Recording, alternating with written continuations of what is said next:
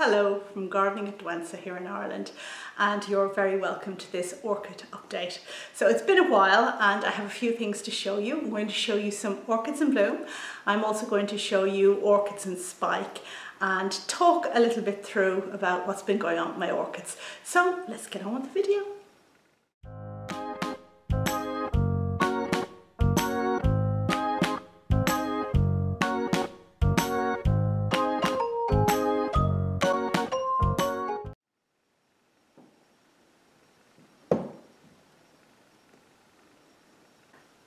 And the first oncidium I want to show to you today is this glorious, glorious Stirbic Red.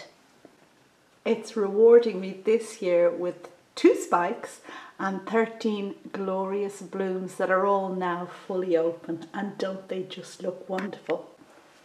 This fabulous plant used to be in the Odontoglossum Alliance but has been switched to Oncidium more recently and we can tell from the glorious colours how it relies on mimicry in nature to attract its pollinators. So each flower has beautiful markings and a gorgeous little yellow bit right at the centre and these mimic the female probably of some species of insect which this plant lures in to get pollinated. This, of course, is a hybrid, so it's not something that occurs naturally out there in the wild, but its parents are ones that have these glorious markings and it has inherited them well. Now, this is a plant that does need staking. I've tried to leave it unstaked, but the weight of those big, big flowers, I mean, they're not enormous, but they're quite big for an oncidium, and the weight of them will tend to break the spike if left, which is a shame but well, I think I can put up with staking it. I believe there are other colours of Stirbic out there because mine is a Stirbic red, but this one is really good. So in terms of care, this plant gets intermediate light and that translates in my environment to a south-facing windowsill in the bathroom which has frosted glass on it and it lives there with a number of other oncidiums and gets watered and fertilized once a week. I also apply Epsom salts with the fertilizer and the fertilizer I'm using at the moment is Orchid Focus. Now the plants they get fertilized at quarter strength every week and then on the fifth watering I just use plain water. I use tap water. As with all my orchids, I water them using just regular warmed tap water because I live in a soft water area. Now I detect no scent to this particular plant, but I think it's gorgeous enough looking that it doesn't need to rely on scent for me to buy it and to want to keep it. However, with the next one I'm going to show you, it is one that is very highly scented. I love the way five flowers are stacked on top of each other here in perfect symmetry. Okay, so let's move on to the next oncidium that I have for you today. And next up we have the most delightful Colmanara with a name called Painter Tropic Jungle, which is a bit of a mouthful, but it really is a gorgeous, beautifully scented orchid that is producing two spikes at the moment. So let's have a bit of a look at this one here. And this, of course, is a Colmanara, which is an intergeneric cross between Miltonia, Oncidium, and Odontoglossum. Those of you who regularly watch my videos will recognise this one because it's popped up in a lot of the orchid updates. It's a very regular and reliable flower and you can tell that by I guess, I mean, one thing is that its leaves are so green and healthy and lush, and also that it gives me so many flowers on each spike. You can see that this plant branches. So this is a branch from the main stem, which is a trait of oncidiums, and I will guess that it is getting this trait from its oncidium parent. The flowers are very waxy, and there's something about each of them the perfection of each individual flower. And I guess the fact that they're waxy just means that they get preserved for a bit longer, whereas if something is softer, it's more likely to deteriorate earlier. But really, really nice. So we have yellow markings at the edge of the petals, and we have a beard which has white on it, and then these chocolate brown splodges on petals and overall on the flowers of this particular Colmanara. And it's really gorgeous and it smells absolutely divine. It's really hard to say what this scent reminds me of, but certainly things to do with spring. I can't say it's particularly hyacinth or lily or anything like that, but very much a fresh, sweet, glorious scent that'll permeate a whole room. And a final look at these little flowers before we move on to the next plant. This is one I'm very happy to count in my collection. And in terms of care, it's the same care as per the, the Stirbic that I just showed you a moment ago. Okay, and I guess what we'll do now is we'll take this little beauty away and have a look at the next plant.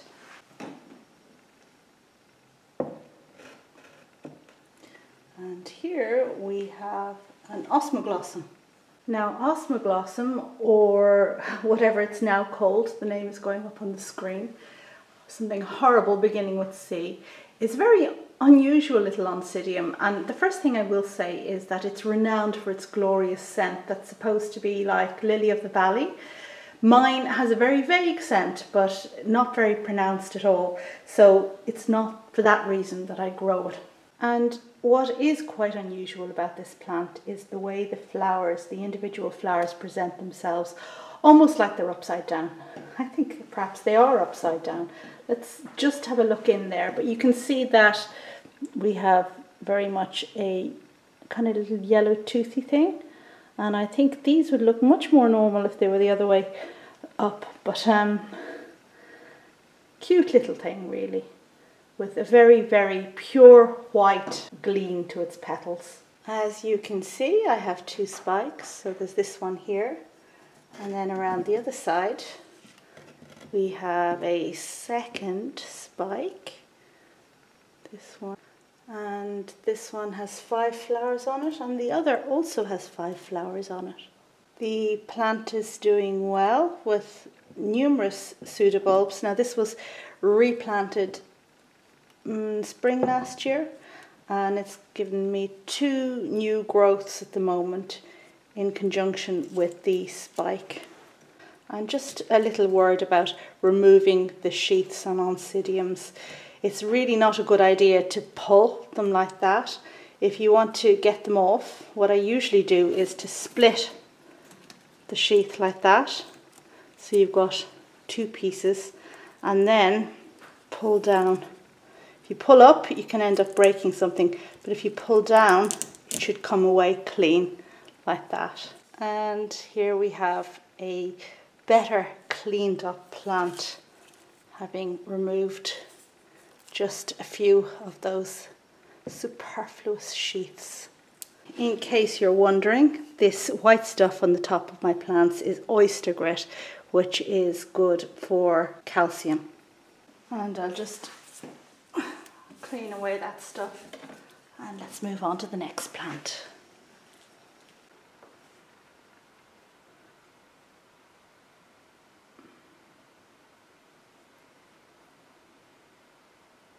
And just before we move on to the next plant in bloom, just a little update on one that I repotted last spring. And this is the American Hybrid, which is sending up a lovely spike. I love to touch the neck of this, it's so, so furry. So it's this time last year that I repotted my paph collection and I just wanted to show you how well this one is doing. I made a video about uh, paph repotting and we can see that this one has done really, really well. And you may recall I was a bit dubious about the size of the pot I was putting it into. I feared it might be too big, but this plant has done really well. Lots and lots of roots. And indeed, all of my paphs have done equally well. And you can see that there's no problem with this at all. I've grown it in the same way as described in that video with moss on top, just keeping it moist and re-watering it just whenever the moss barely dries out. So I guess we might say keeping it just moist and it has done so, so well. And look how the roots have gone round and round this part of the pot where there's a little bit of a dip. But it's doing really well and I look forward to getting flowers soon. The others are doing well but no sign of blooms yet. Next up we have some Cattleyas and it is a bit of a down season for them. But this orange one is in flower at the moment so I just had to share it with you. Now you will recall that I had scale on a number of my orchids last year and divided my biggest cattleyas up and this is a result of one such division. So this is actually two divisions in the one pot. I guess the plants because of the treatment and I treated them with neem oil have had a bit of a setback and also because I had divided them into smaller plants so as to be able to deal better with the infestation but hopefully they'll start to go from strength to strength now. This one is my oldest Cattleya and I'm yeah it's just always done really really well. It's very sturdy and you can see that it has Laelia anceps in the parentage because it produces these really, really tall spikes. And now we're going to have a little look at Cattleya percivaliana, which flowered for me just a while ago and was such a complete joy. And you can see how this gorgeous, gorgeous Cattleya has such really slender funnel shaped blooms. I really, really love it. Love the colours, I love the presentation. Very much a species, you can see by the way the petals are tapered and have a very pronounced and good shape. I absolutely love it.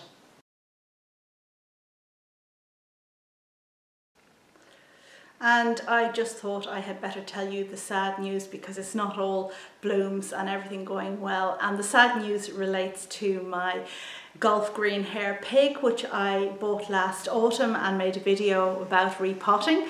And it was doing really well, doing so well. And then just one day I noticed that one of the pseudobulbs was bending in a very uncattleya kind of way. And when I touched it, I realized it was soft. So I cut off the offending material, but I did notice that whatever it was, the brownness had gone into the rhizome. So there was some kind of rot in there. And very soon the other, some of the other pseudobulbs also kind of went soft and I just chucked the whole thing out.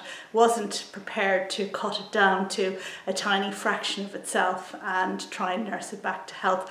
And it wasn't a bacterial rot, I'm fairly sure, because in my experience, the bacterial rots, when they get in there, it's a very quick end to your cattleyas and that didn't happen. So yeah, Golf Green Hair Pig is gone, but don't worry, I've plenty of other plants and I hope that very soon I'll be showing you a lot more Cattleya blooms. And now we have, I guess my only dendrobium in flower, but beautiful, beautiful flower it is. Just look at that. This is Dendrobium sanderae and it's quite a big plant now at this stage with four blooms. Well, one bloom that's open at the moment and another three really big buds around the back. Here we go, that are about to come.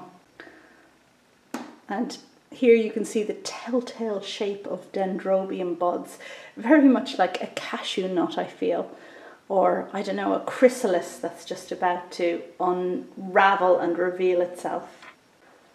This one has beautiful, quite flat flowers and very delicate purple markings in there. A really, really beautiful one.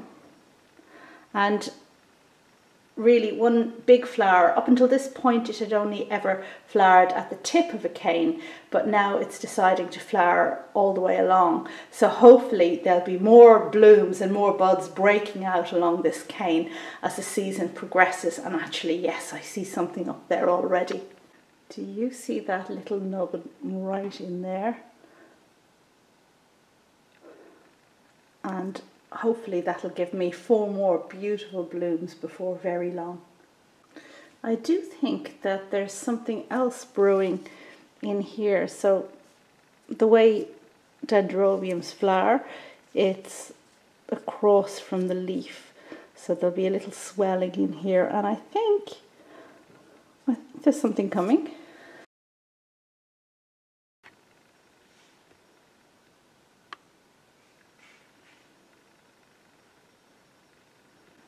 Plant is putting out good roots at the moment with green tips and I've just put this little cage around it just to help support the canes a little bit which are quite wobbly.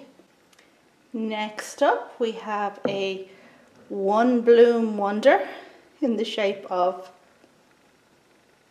peach elegance which is this phalaenopsis orchid here and it's just giving me one flower at the moment with I think fewer markings than normal.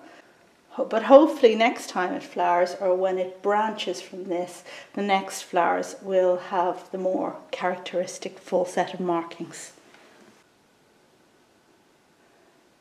Phalaenopsis pallens also only currently has one flower, but it does have other spike and buds.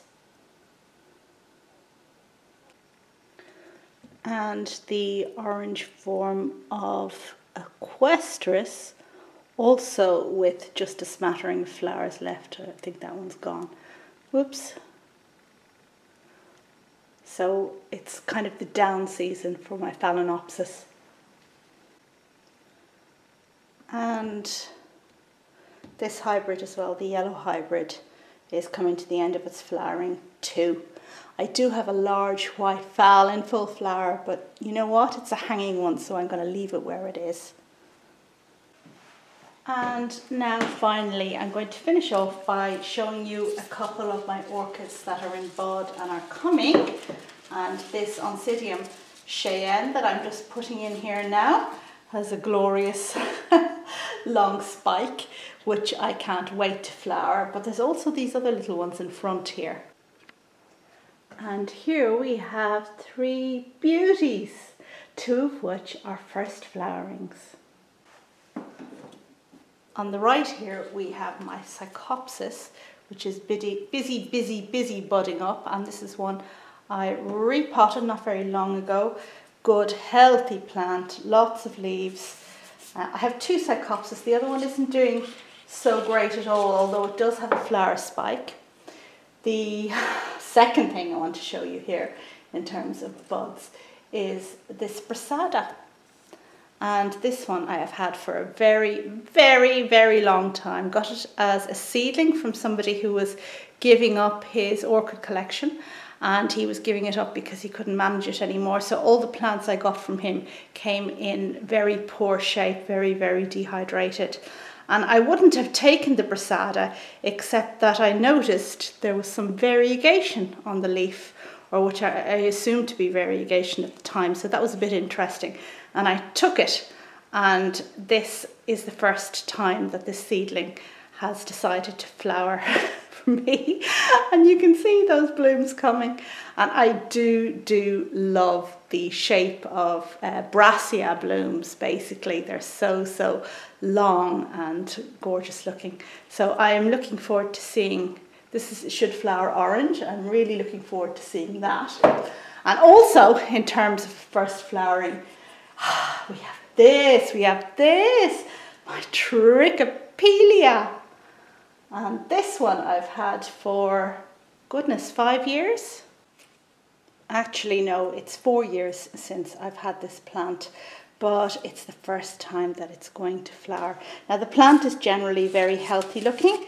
I repotted it last year, I think, and it started growing a lot of new roots and even is coming out at the base of the pot. Um, it is producing one spike at the moment and two flowers, and they are so, so very nearly open. I just can't wait to see how these beauties are going to look. Can't wait to see how they're going to look and to share them with you. This is a really elegant orchid that I'm dying to see. And that brings me to the end of this video about orchids. I hope you enjoyed it. And just a little reminder that memberships is currently available on this channel and with memberships you will get a free copy of my e-booklet about growing cattleyas on a windowsill. So if that's of interest to you then I suggest you sign up for memberships now because the deal on the free e-booklet when you join up to memberships is only going to be available for another week and then I'm going to withdraw it membership costs $4.99 a month and the book would cost that anyway. So I think it's a pretty good deal on and all. Thank you very much for watching and I will see you on the next video. Happy orchid growing. Bye.